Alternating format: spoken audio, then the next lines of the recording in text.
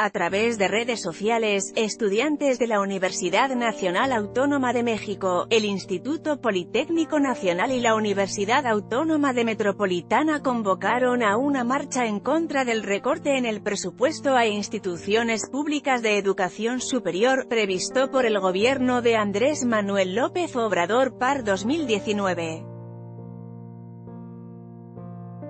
La movilización saldrá el jueves 20 de diciembre, a las 11 de la mañana horas, del Ángel de la Independencia, en Paseo de la Reforma, y se dirigirá al Zócalo de la Ciudad de México.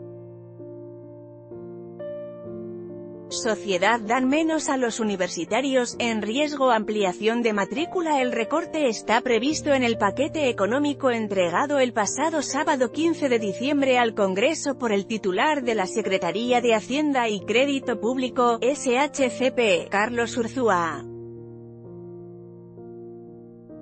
El proyecto prevé un recorte de 6% a la UNAM y de hasta 7,7% a la UAME entre otros recortes a otras instituciones como el CONACYT.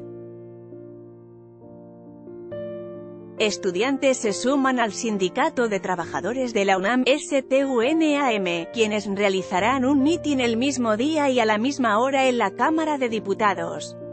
Sociedad